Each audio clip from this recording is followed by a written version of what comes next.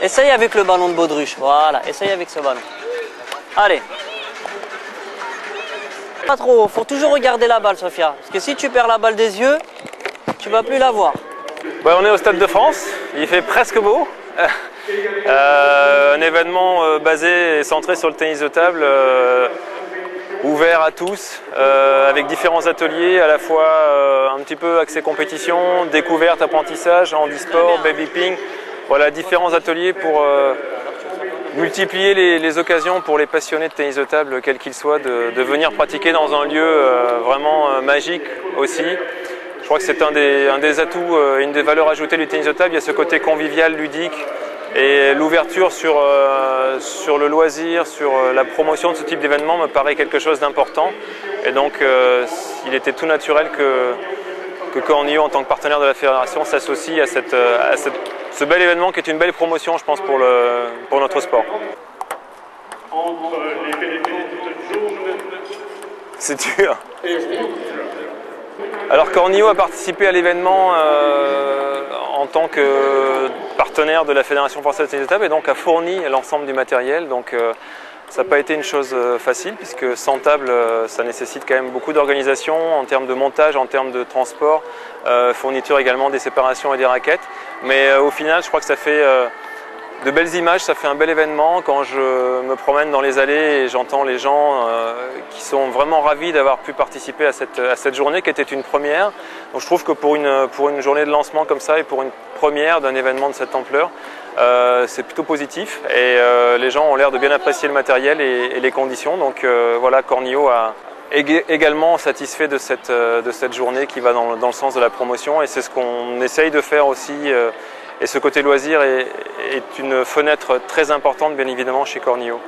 Donc les tables viennent directement de chez nous, donc euh, Bonneuil-les-Eaux, euh, dans l'Oise. Donc on, les a, on, est passé par un transporteur qui est venu directement donc, la veille déposer les tables. Et, euh, donc comme ça, nous on est arrivé pour le montage et on a assuré le reste de la logistique a été assuré par Cornier directement. Table sport, table compétition et quelques tables mini. Donc euh, bah, c'est des tables qui sont assez complexes, donc on essaye de donner euh, au mieux les, petits conseils pour monter au mieux. Euh, donc nous on essaye de leur donner la, logique de montage et dès qu'ils ont un petit souci ils viennent nous voir et, on essaye que ce soit dans la bonne humeur et, que ça se fasse bien et, proprement. Cette idée c'est d'abord la promotion de notre discipline, le tennis de table, et de communiquer à travers un, site sportif emblématique qu'est le Stade de France. C'est pour nous une opportunité, euh, quand on dit très souvent que le tennis de table ne passe pas à la télévision, euh, avoir un, site emblématique comme le Stade de France, euh, c'est une opportunité et une possibilité de communiquer qu'on a rarement dans notre discipline. Cette idée est venue après quelques voyages en Asie, en particulier en Chine, où j'ai pu, au moment des championnats du monde, observer des manifestations de ping-pong en plein air avec 300 euh, tables de, ping-pong. Et euh, on a même vu euh, ensuite un événement autour du nid d'oiseaux, 1000 tables de ping-pong. Alors moi, dionysien d'origine et du club de Saint-Denis près de 51 ans maintenant, j'ai la chance d'avoir sur Saint-Denis le, Stade de France. Et donc est venue l'idée, bah, démarrons avec 100 tables de ping-pong au Stade de France.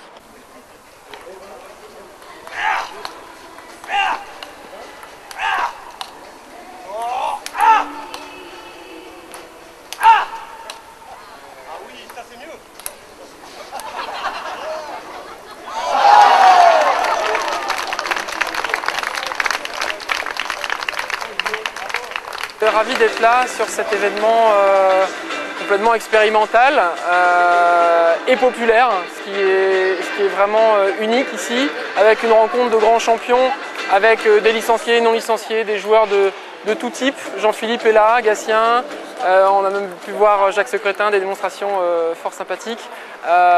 ici, on peut avoir ben, une très belle représentativité aussi de nos, de nos gammes de produits, avec le haut de gamme loisir qui ne craint pas les gouttes d'eau. Euh, voilà, on a une petite averse, mais rien de tout ça n'y fera. L'enthousiasme est là et euh, c'est un, vrai rendez-vous euh, de fête. Et en espérant qu'effectivement, on puisse aussi, au niveau, pour faire le lien par rapport à la compétition, qu'il puisse y avoir un petit peu de, d'envie et de, vocation de susciter peut-être et de faire le premier pas vers les, clubs ici franciliens et ailleurs dans lesquels on est, on est toujours très présent. Hein. Ah, je, crois qu'il y a un engouement, je crois qu'à partir du moment où il y a des gars comme Jean-Philippe Gatien, hein, qui grâce avec la société Cornillo a amené les 100 tables ici, il n'a pas été simple pour les monter. Hein, il a fallu beaucoup de bénévoles aussi également, plus de 80 bénévoles pour organiser. Hein, c'était sous la houlette de Jean-Claude Mollet qui a eu l'idée. Il y a eu le conseil général, bien sûr, le conseil régional. il y a eu des partenaires. Et je crois que sans tout cela, eh bien, les gens qui sont venus ici, il y a eu une bonne organisation. Euh, les gens jouaient contre Jean-Philippe Gatien, contre moi-même. Je crois qu'ils avaient envie de jouer. Et ça se voit dans leurs yeux, leur faire plaisir. C'est vraiment déjà transmettre quelque chose. Et que ce soit Jean-Philippe ou moi-même, je crois qu'on a un besoin naturel de transmettre.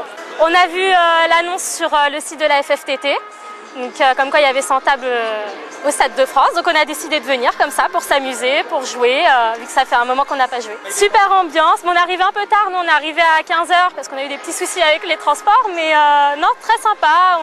Allez, c'est parti. Voilà, 1 sur 1. 2 sur 2. 3 sur 3. 4 sur 4. Et 5. Parfait. Maintenant on fait les totaux. 14. C'est bien? Non? Alors il te reste dosage et déplacement. Bah, c'est simple, c'est comme ça. Déplacement et dosage à la fin. C'est bon? Donc les diplômes, euh, ils avaient sur chaque, atelier, il y avait des notes sur 20. Et donc on donnait euh, les notes qu'ils méritaient. On essayait toujours de hausser un petit peu euh, les notes pour pas qu'ils soient découragés. Et à la fin des cinq ateliers, bah, ils allaient recevoir leur diplôme. Donc entre la balle orange et balle blanche et arc-en-ciel, il me semble pour les euh, plus méritants.